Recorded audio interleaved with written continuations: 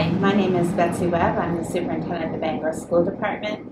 And today, Principal Brian Bannen is going to interview me about the transition back to school. So, Dr. Webb, a lot of students have been in summer mode. The end of school, the end of summer is fast approaching, beginning of school is coming here. So, as we're thinking about the transition back, initially, what are some ideas you have that parents can do beforehand? Let's start at the elementary schools to get students prepared to come back to school on September 1st. It's a great question, and I have to say, I have many parents that ask me about how can you have a successful transition back to school. You know, I think although there are differences from elementary to high school, there is one similar thing, and that is start to go back to your school routine making sure that bedtime, um, waking up time, meal times start to mirror what it's going to be like for that school year. Mm-hmm. I think all of us have had vacation time when we've stayed up late, and then Monday morning it's very difficult to get our body back into pattern. So I think an important one is to start to establish those routines. Another one is to you know start to talk uh, low key, mm-hmm. but um, how you're excited about the upcoming school year and talk to your children about what are some of their hopes and dreams about the school year. I truly believe that all children, all children, want to have a great school year. Mm-hmm. And so talk to them about those things because that allows the child to advocate what do they need out of the year. Another thing is to start with uh, reading, um, whether having read alouds where parents read to um, their children, and amazingly, the research says that you can read aloud even to high school students, and they uh, benefit from that. Uh, another thing is playing family games, um, having fun. That's the important thing. No tears, no tears, right. fun.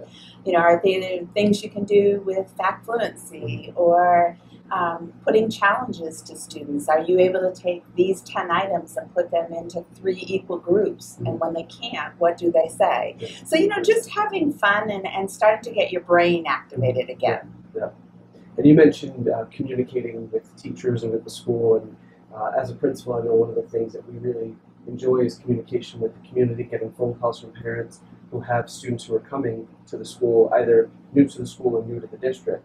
So, what would you say to parents or families who are new to a school or new to a district and want to start that conversation, what might be some opening questions they could ask? Oh, great idea.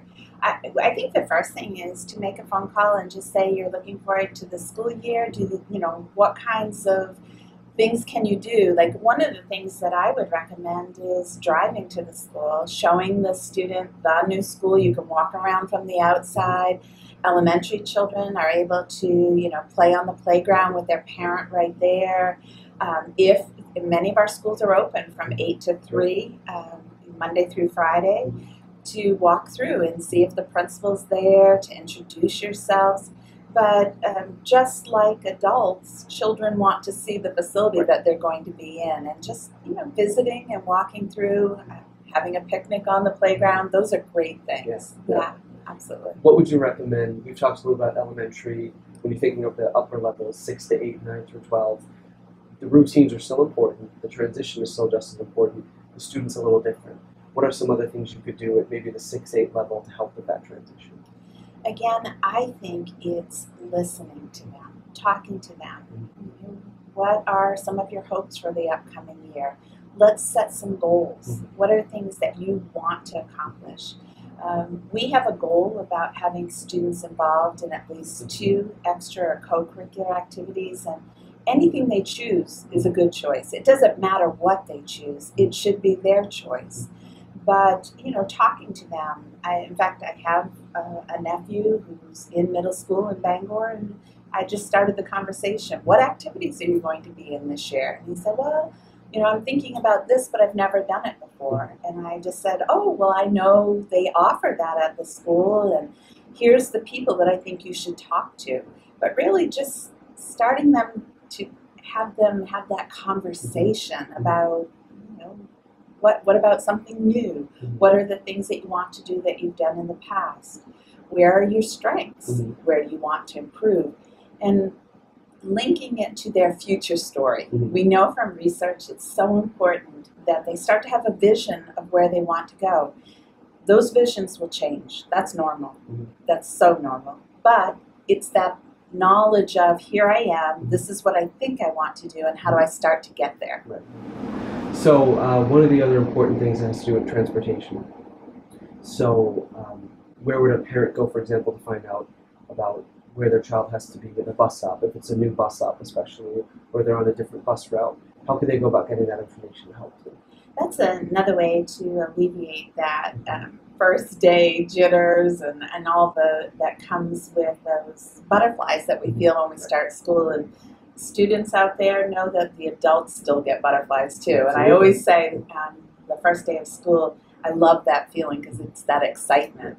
Um, but I think an important thing is to figure out your to school and then from school to home transportation. Um, on our website, there is the bus routes, and you can look right through it and it will tell you where the stops are.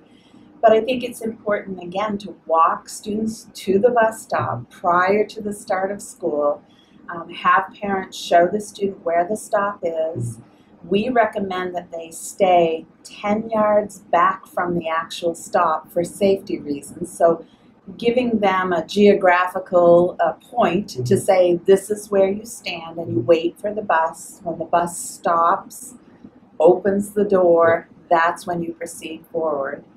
Um, if you're a walker, Mhm. I think it's important to walk to school and to show them the route that you Mhm. want them to take. Um, and when they come home, the exact same thing, looking for safety points, where are the crossing guards, that kind of thing. Um, if you're going to be driving them to school, even showing them where the student drop off Mhm. is Yeah. and what the expectation is for them to walk into the building or onto the Yeah. playground. Just to, again, practicing routines. I had a mentor once, and I think he was um, sharing with me uh, the quote from John Wooden and move slowly in order to go quickly. Mhm. And basically, the whole idea that if you learn the routine and you Mhm. learn it well, Right. as humans, we follow it. Yeah, yeah, so, and that's a good thing. And Yeah. just to take those times to figure out what will transportation look like, Mhm. make sure they know it, make sure um, that they know what to do if, if something, you know, happens. Let's say a, a street is blocked off. Mm-hmm. Now what do I do? Right. Those Yeah, kinds of absolutely. things. Yeah. So we've talked about the before school transitions. Let's say end of the first day, student comes home. What should that conversation be about how things went to help as far as moving forward with the rest of the school year? Yeah, again, it's questions and listening. Mhm. How did your first day go? Mm-hmm. Is there something exciting that happened mm-hmm. or that you want to share with me about that? Was there something you were concerned about? Is are there any questions you have about your first day that I can help find the answer for you? Mhm. Maybe as a parent you don't know that answer, but you certainly can call the school and we'd be glad to answer. Yeah. Um, there's a lot that is said in the literature about the importance of a good start to the school year. So, and, and yet we know that they, people perceive things Sure. differently or Absolutely. whatever. Uh, we need to know. We need that, as you said, open line of communication where parents are talking to school and we're all figuring out how to make it a great school year for each Absolutely. student. Yeah. Yeah. So we've talked a lot about what parents can do. What about what kids can do? What can they do? Great, great one. I love that.